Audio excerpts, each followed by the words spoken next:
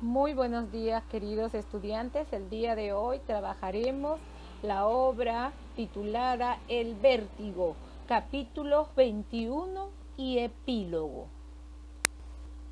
El Vértigo, capítulo 21. A continuación te vamos a presentar los siguientes acontecimientos. María Isabel se encerró en su habitación y no paraba de llorar. En capítulos anteriores hemos visto que el personaje principal manifiesta sus sentimientos al profesor de educación ambiental, que es Toño. Este le menciona que ya tendrá la oportunidad de conseguir a una persona que sea de su misma edad. María Isabel manifestó a sus padres que no iría a la escuela. Como ella se encontraba muy triste por todo lo sucedido, estaba encerrada en su habitación y no deseaba que nadie la moleste. María Isabel prometió a sus padres ir el lunes a la escuela. Sus padres entendieron la situación que pasaba su hija y concedieron el permiso correspondiente. Lucía llamó más de 20 veces a María Isabel con la finalidad de saber qué es lo que había pasado, por qué ella no contestaba sus llamadas y lo único que quería es hablar con ella para saber cómo se sentía. María Isabel sufría al ver el escritorio vacío. Cuando ya retornó a clases el día lunes, al ver ese escritorio vacío y recordar todos los acontecimientos que tuvo con el profesor, ella se sentía muy nostálgica. Ya en la escuela, Lucía abrazó y consoló a María Isabel por todo lo que había pasado, ya que ellas últimamente habían compartido muchos sucesos juntos y también trató de ayudarla con el profesor.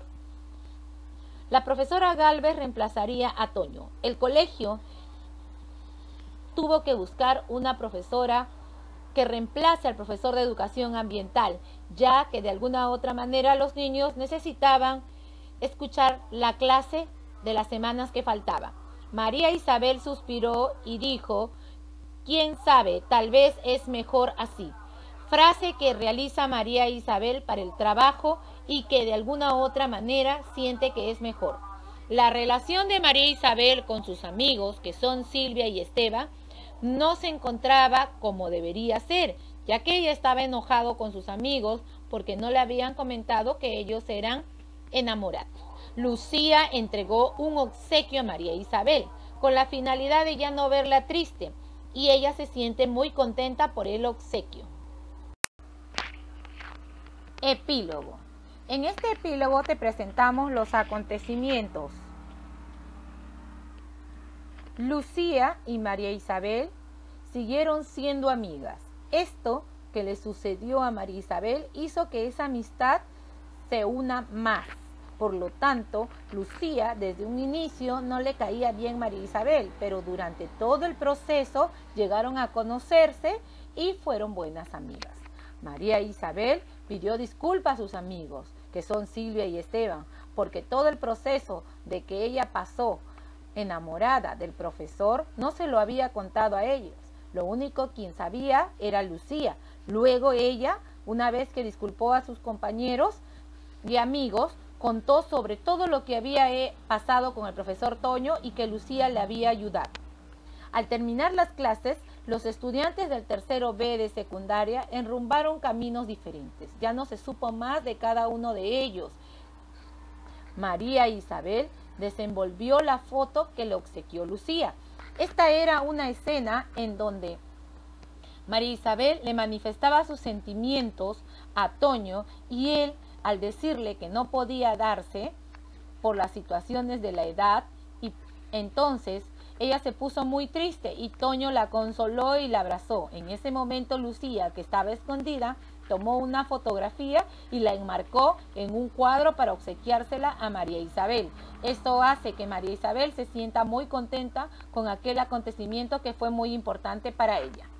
Toño, cuando estaba, encontró en su saco la nota de María Isabel, cuando él estaba rumbo de viaje, tocó su saco y se dio cuenta que había una nota donde María Isabel le había manifestado todos sus sentimientos. María Isabel y Toño al mismo tiempo sonrieron.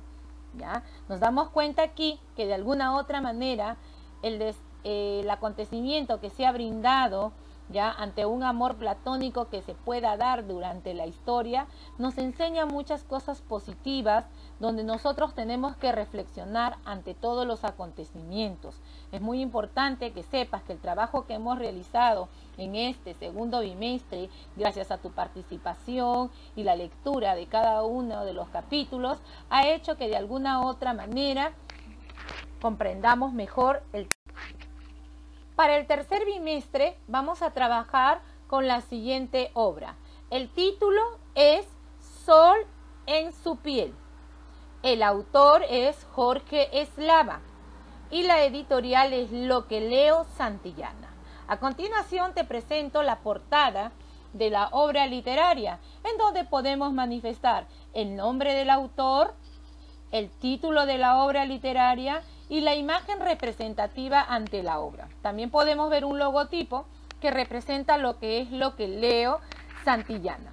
Recuerda muy bien que así como has realizado tu participación en el primer y segundo bimestre, para este tercer bimestre también contamos con tu colaboración.